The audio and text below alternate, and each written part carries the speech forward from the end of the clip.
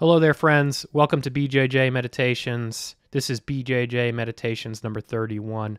I'm your host, Joe Hannan. Uh, have a lot I want to talk about today. Some of it relating to jujitsu, some of it relating to the meta game, the meta jujitsu, which is life. So I'm just going to get right into things. Uh, first, to kind of set the stage for you this week, I want to read to you a small portion of an essay I wrote two almost two years ago now called The Idea of You. And the idea of you was about my anticipation of becoming a new father and what that might mean to be responsible for raising a son jointly with my wife and what that might mean within the context of the world as it's evolving and unfolding. And this particular essay comes from, let's see which installment this is. This is part three. So it's month eight of uh, my son's gestation. And it's germane to current events that are unfolding right now in at least the eastern part of the U.S. and certainly the central part of the U.S. and the West. So I want to revisit it, and you'll see where I'm going with this. Month eight high summer, torrential rains, tornadoes. What kind of world are your mother and I bringing you into? A violent storm hit while I was training jujitsu bringing several tornadoes with it. Your mother told me to stay at the gym, but I drove through the flood to get home to her and you. We huddled in the basement and waited for the end amid high stakes and high water. The same thing would happen again during your first week at home. Earlier in the summer, before the immediate cost of climate change became so hard to ignore, you went to LBI. You went to Cape May. You got a taste of the fish that Jean and I pulled from the waves each morning and brought back for breakfast. The keeper weakfish were gone. So were the keeper flounder. In the quiet dawn and lapping surf, I wondered if you and I would fish together for the first time. Then a sandbar shark's fin severed the shallow water. I took a few steps back to dry sand in disbelief. Jean and I fished again the next morning, and so did the shark. So yeah, we're living in strange times, but times that many have predicted and indicated. Um, it's undeniable here that summer in New Jersey is not what it once was when I was a kid. So we're talking as few as 30 years ago. Uh, winter is not what it once was here when I was a kid. I grew up in the northern part of the state. I was actually on our our high school had a ski team and uh, frequently we had snowfall amounts that would close school down and certainly keep uh, the local ski hill covered for the duration of winter. And that doesn't really seem to happen anymore. And I've been reading uh, Yvon Chouinard, the CEO of Patagonia, his book "Let Me Let My People Go Surfing," and it's prompted a lot of reflections, not just about climate change, but also about what it means to found a company and run a company from a first principles perspective. And you know, I, I, Yvon seems to think that there is no crisis other than the environmental crisis, and I could certainly see that framework and appreciate it. Uh, I saw it two years ago when my son was born, and this sheer terror was sweeping over me of what what will my son's life look like? You know, what will the next 100 years on Earth look like? I'm feeling it again in a big way this summer as we had these torrential rains pass through upper upstate New York and Vermont. Uh, and as we have this heat dome that's settling once again over the west and the southwest, uh, I have friends out in Colorado who, you know, have real concerns about when their water supply is going to run out. Uh, it's getting harder and harder to ignore the environmental crisis, but I tend to think that the environmental crisis is really a crisis that's kind of nest, nested within this meta crisis, which is something that John Vervaeke and the folks at the STOA have talked about uh, quite a bit. And it's this inability to reason, it's this uh, inability to kind of see past our tribal mentality, to see past our prior beliefs, uh, to really question our own mental models and reassess and reassemble them. Um, so, I'm not sure which of these things I'm all in on or if I'm all in on anything, but I say this to say that BJJ Meditations is quickly becoming something bigger than I had envisioned. And you all, there aren't a ton of you, but for those of you who do listen to this podcast, you're very attentive and you're very thoughtful people. Um, and you're very motivated, it seems, not just to train this martial art as a way of learning a martial art, but training it as a way of understanding how we learn and how we grow as humans. And I think that we we as a community are uniquely positioned to do some good in this world. And with that being said, I really appreciate Patagonia's model of 1% for the planet. Um, I don't know what the 1% of BJJ meditations and my consulting work that's related to it is going to be. If it's going to be for the planet or if it's going to be something for something else. But I'm here today to tell you that I am in on that mission. Um, BJJ meditations for the first time made money this month. I mean, we're really we're this is a this is a money bleeding endeavor. Um, I don't want to get into the, the specifics of it, but uh, for the first time ever, somebody purchased one of the NFTs. Whoever you are, thank you. Uh, for fifteen dollars, and that works out to like 0.08 Ethereum. So for whatever amount of money that comes in pre-tax here at BJJ Meditations. I'm about to start the formal process of forming this as a company, but one at least 1% of whatever comes in, you know, pre-tax will be going to some sort of charity. And I say at least because my goal is to make it uh, larger over time um, as hopefully this endeavor becomes more successful.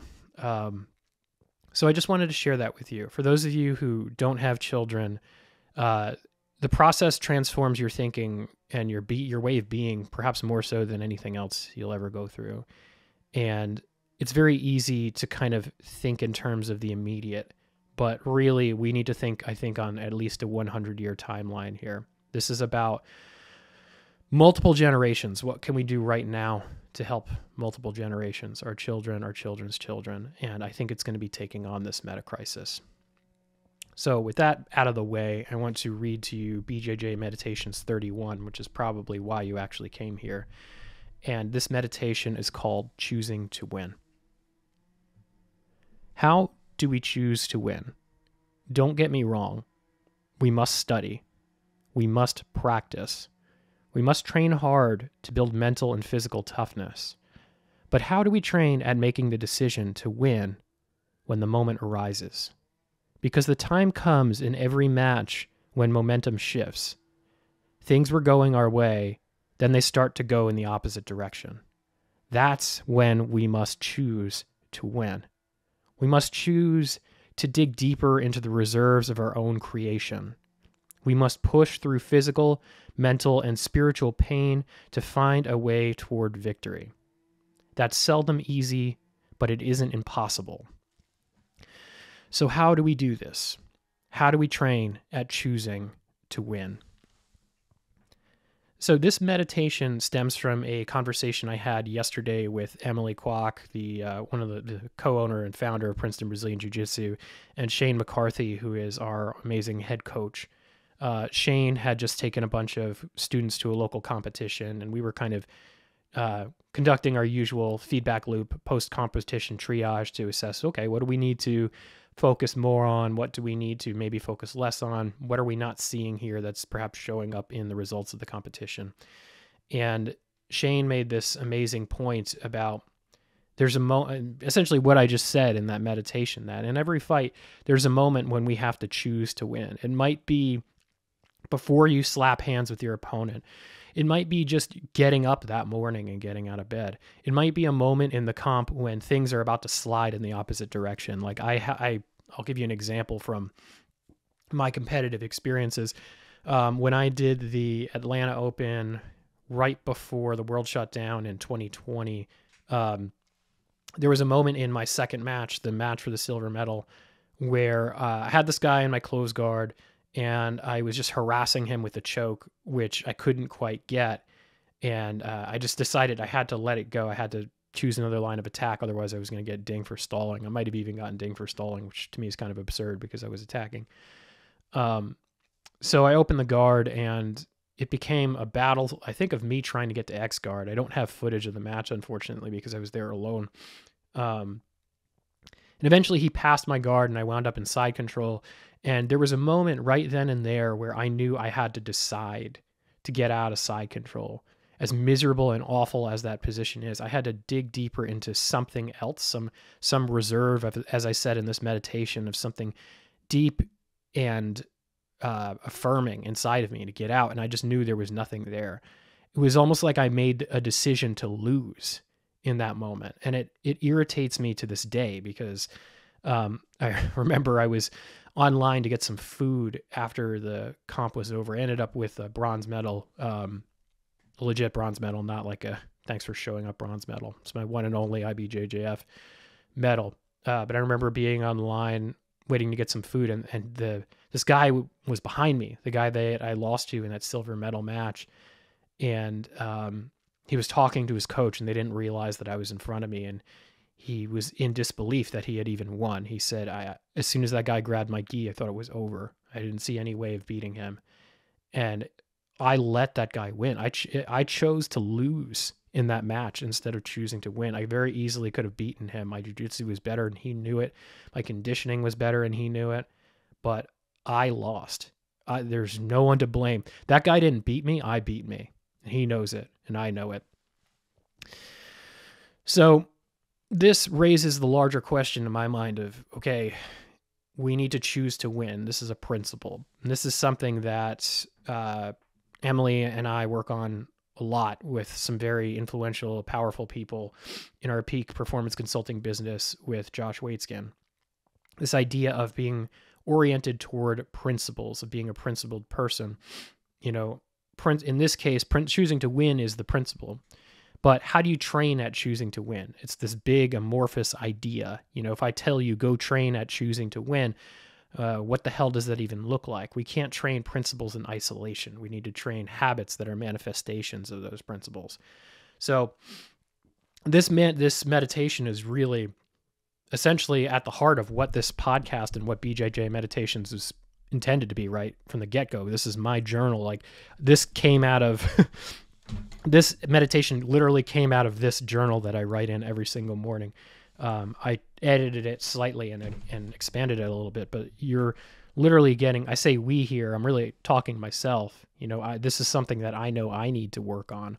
I need to work on it if I want to win at Masters Worlds and I also need to work on it if I want to practice what I preach as a coach. Because first and foremost, I don't want to sit here and tell you what to do and not do it. I don't want to be an armchair professor. I don't want to be a philosophologist. I want to be a philosopher. So I am about this work, just as I'm sure you are about this work too. Um, so, what we need to do to manifest this principle of choosing to win is creating habits. And I don't know, this is where things get sticky right? Sticky and tricky because I firmly believe, as I said in my previous meditation um, about my conversation with Pat, who Pat, I'm sure, is annoyed that I haven't already posted a new episode this week. Sorry, Pat. Um, I think that our true north as as people who live lives of training and as jujitsu competitors has to be unique to who we are. It has to be true to our disposition. Uh, I can't be prescriptive. Like if we were working together in a coaching capacity. I would spend so much time observing you, simply getting to know you, asking you questions before I even made any kind of slight low touch intervention because you really mess with these things at your peril, especially with high level performers. And a lot of times, as Josh likes to point out, a person's genius is highly entangled with their eccentricity. So if I go in, say, as a more conventional type of coach, and I try to correct something that I that I think is dysfunctional, I might be ruining you as a human, as a competitor. I might be trying to make you into something that you're not. I might be putting my shit on you. And how is that fair? So really, I say we need to create these habits. And I, I'm about to tell you some of the habits that I'm working on as a way of manifestation, manifesting this principle of choosing to win. But this is not a prescription. Uh, you really need to either work with someone who understands the necessity of listening and re- truly listening 99.9% listening before they even make suggestions or you need to do that work of listening yourself and um, i'm about to publish uh, a different style of episode. I'm working on the write up of it now, where I talk about all the different modalities I use around and in jujitsu to do that type of active listening, to really understand myself and to self coach. Um, that's to come. But really, you either need to be about that or you have to have a coach who's extremely sensitive to these dynamics and, and can help you there. And Emily has certainly been like that to me. And um, I'm, I hope I'm starting to become like that toward other people too. Um, but so, how do we train this habit of choosing to win? Um, one of the ways that I like to do it is completely unrelated to jujitsu, and it's this process that we use in the peak performance consulting space uh, that Josh Waitzkin created called the MIQ process. And throughout the day, I have this other little notebook here where I'm constantly posing questions to myself. Uh, they could be relative to my work as a consultant. They could be relative to my writing. They could be relative to my jujitsu. They could be relative to my role as a husband, as a father. Really, the distinctions are purely semantic. All of these things feed into each other. There really is no separation between them. Um, and at the end of the day, I study, I just quickly glance over the questions and I identify like what's the most important one. My criteria for the most important one is which one of these questions has the most to do with all the other ones. Like what's the meta question here? And then I forget about it. I go to sleep. Hopefully, I get eight to nine hours of sleep, which, by the way, uh, with a small child, you can get eight to nine hours of sleep. maybe that's another, maybe that's another episode uh, I should do. Um, and then I journal on it first thing in the morning and in my uh, my Rhodia web book that I just showed you here. Um, I'm a big fan of quality stationery, and Rhodia makes a really great journal. Uh, Rhodia is not a sponsor of this podcast, and uh, maybe they will be someday. Who knows? I don't know if the French care about jujitsu as much as us Americans. Someone, uh, some Frenchman or woman in the audience is probably going to take umbrage with that, and you know I welcome it. Um, anyway, yeah, so that's one of the ways I go about this process of training at choosing to win. I, am constantly looking for the gaps in my thinking that are leading to losses. Uh, and they could be losses on the mat, they could be losses in life, but there really is no separation between them. Um, that's sort of like a universal process that I think can be useful for everyone. I don't want to be too prescriptive, like I just said, but the the form and function that that MIQ process takes can be however you wanted to do it. It could be purely in your head. It could be on a computer. It could be a combination of both. It could be on paper. Excuse me. Um, but yeah, really, t- it can take whatever form you want it to, and I think that's essential. And then, sort of the other habit I manifest is uh, intentionally training out of bad positions. There was uh, a couple weeks after I went to Boston where I had that amazing encounter with uh, Professor Ginsberg from uh, Ginsberg BJJ, um, where he taught me about resetting the Zen point. And I took that technical approach and psychological approach to escaping mount and side control. And I just trained it over and over and over again, mostly with big blue belts and white belts. I would say, okay, we're going to, on Saturdays, I generally have an hour after I teach my class where I can train. And every single one of those rounds, it started from either the bottom of mount or the bottom of side control. And um, so much of it was practicing the technical aspects of getting out. And then another huge portion of it was just being okay with being miserable. Uh, and it pays dividends. You know, I, I went, uh, I think like a week after I started doing this, I trained with one of my uh, law enforcement colleagues at the school who is a very large and dangerous man who I've talked about on this podcast before. Um, and I did the same thing with him. we trained for like a half hour straight with me just like getting crushed under his mount. Uh, really pressure testing in the literal and the metaphorical sense, uh, the technical and the psychological aspects of this escape. And uh, it revealed a lot of the deficiencies in my strategy. I'll put it to you that way. But more so than anything else, it taught me that this this is survivable. This too shall pass. So yeah, I, I, chose to put myself into that situation, and I, I chose to go through the painful process of running that feedback loop, assessing the failures, and trying to course correct. And that's very much still a uh, work in progress. But anyway, those are two examples of how I'm training at manifestations of habits to take on this principle of choosing to win. Um, and you know, in passing in this meditation, I talk about this idea of digging into reserves of our own creation. Uh, what are these? I think that this is really the deep psychological fortitude that comes from knowing that you have built up your resilience and knowing that you have built up your technical acumen to deal with almost anything. Uh, I really see this in big ways in Emily when I've asked her about her strategies for prepping for competition. And she always tends to say something along the lines of, like, well, I know my game, I know what I want to do. And I have such confidence in that depth that I know that whatever the other person does, I'm going to have an answer for it. And I think that's sort of her reserve of her own creation. I don't really know what mine is yet. Uh, I think that mine, I think that I'm, I'm getting, I'm starting to get the sense that mine has something to do with establishing control. That even in disadvantageous positions, I can establish control, maybe in subtle ways that the person doesn't even realize. Maybe it just starts with a singular grip or something like that. Uh, but psychologically, there's a lot of ground for me to be gained there, and that's kind of where I'm I'm putting my efforts right now as I dig deeper into this problem.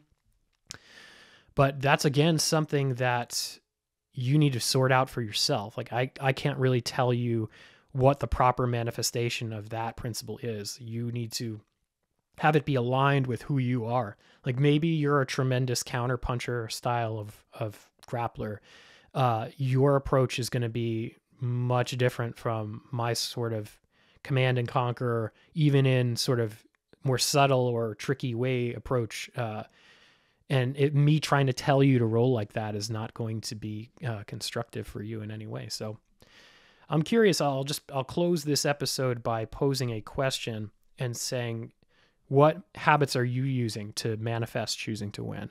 Uh, what what are you doing? And uh, maybe I can steal some uh, ideas from you, or maybe we can steal some ideas from each other. You know, this is uh, one of my overall goals with this uh, whole endeavor is to have this be a repository of information that we can all use to to grow as a community. But I think that goal transcends jujitsu, just as the mission of BJJ Meditations transcends jujitsu. Uh, and I just want to again revisit my commitment to uh, one charities to be determined, mission to be determined. I need to think a bit more about this, but um, you have my promise that as I continue to grow BJJ meditations, there will be a uh, altruistic component to our mission that is aimed at solving or at least alleviating the meta crisis because uh, as emily has said to me multiple times truly complex problems they aren't solved they're managed so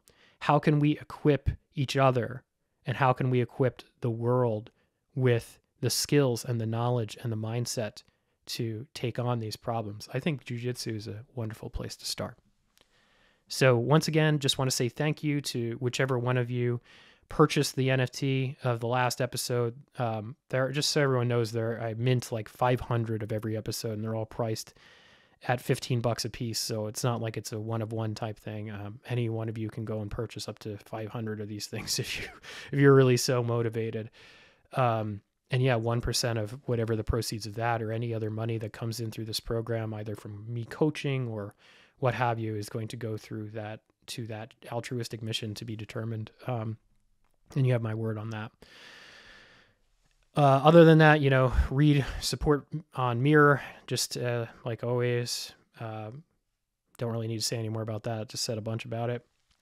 If you want to support the podcast otherwise, just like, subscribe, review, and share wherever you are listening or watching.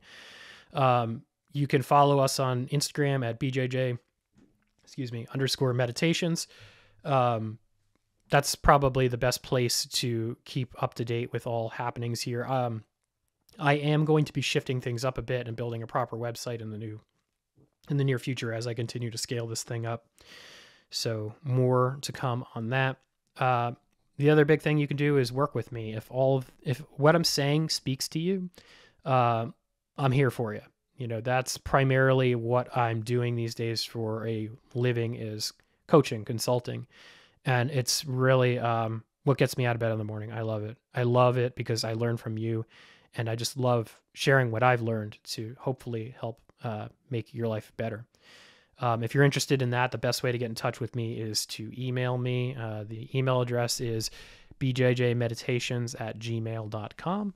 Um, if you enjoy my writing, check it out. Check me out on Substack. I've got a new Substack coming out this month or this week rather. It's joehannan.substack.com. And of course, uh, you're always welcome to come and train at Princeton Brazilian Jiu Jitsu. We welcome grapplers from all academies, all ranks, all walks of life. Uh, if you're a listener of the podcast, I would love to meet you and talk to you and hear what's on your mind. Uh, I teach a class now on Thursday nights. That's from 6:30 to I believe it's 6:30 to 8. It's an advanced no-gi class that I team teach with Ryan Healy, one of our black belts. Ryan's also the front man of a really cool band called American Grim. And I also teach on Saturdays. That class runs from 10:30 to 11:30 with an open mat afterward. Come through, let's have a chat, maybe get a beer afterwards, uh, and let's learn from each other in the process. But thank you all. Uh, stay safe out there. Uh, it's going to be another wild summer. What can I say? Climate change is a mother. Uh, but I think there's really no reason to despair because I think we have what it takes to address these crises. It's kind of just crises. It's just kind of a matter of elevating consciousness to do it. And uh, hopefully, BJJ meditations and the community around it has a small part to play in that. Until next week, talk soon.